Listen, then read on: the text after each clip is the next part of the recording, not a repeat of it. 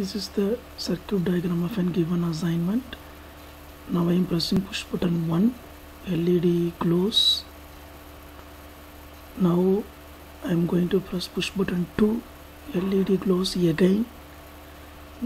Now no push button is pressed no LED glows